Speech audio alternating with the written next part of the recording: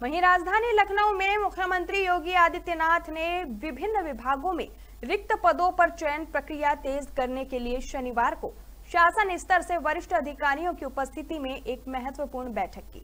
वहीं आयोजित बैठक में सीएम योगी ने चयन परीक्षाओं की शुचिता, पारदर्शिता और गोपनीयता सुनिश्चित करने पर बल देते हुए चयन प्रक्रियाओं में व्यापक सुधार पर ज़ोर दिया है। इसके साथ ही सीएम योगी ने चयन प्रक्रिया की समय बद्धता को सुनिश्चित करने के निर्देश भी दिए।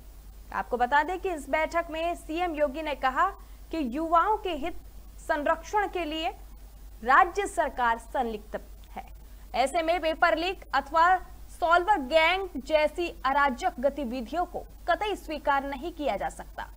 और इस तरह के अपराध में संलिप्त हर अपराधी के खिलाफ ऐसी कठोरतम कार्रवाई की जाएगी।